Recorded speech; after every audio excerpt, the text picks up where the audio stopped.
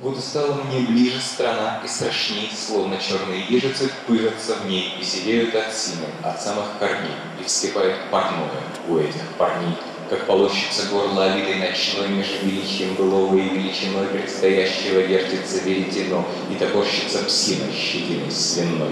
Награди меня Бог лауком и белком, напои забродившим твоим молоком, не в фокусе чтобы, и не целиком, как ромашка с оторванным лепестком, не мелком восковым, угольком войсковым, расковыренным в кровь языком. Меня не научили в детстве публично радоваться смерти, фотографироваться с трупом и клясться мамой до утра, а только тупо водку лопать да в телевизоре глядеться, где черти множатся деревья моей страны на сектора, а я пойду свою своими, покуда пацаны, пока они еще упрямы о пряных мерзостях войны, о желтом блевне и холодных, о белом цинке дохлых душ, когда вставало на попа мое отечество, как в цирке, и полковой оркестр сводный, урежь ты душ. А все потому, что земля не камень, потому что ебля не значит блядство, особенно если особой нефти, а только ваше мужское братство пахнет носками от этой нефти, и еще босиками и сосунками, что кладет калашников косяками.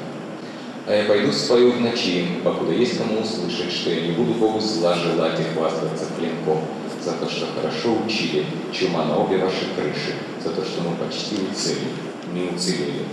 языком.